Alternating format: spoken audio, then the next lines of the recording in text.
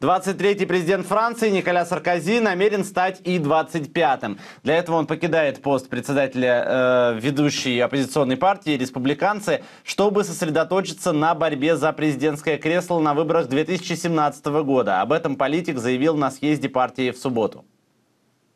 Я горжусь тем, что был президентом республиканской партии.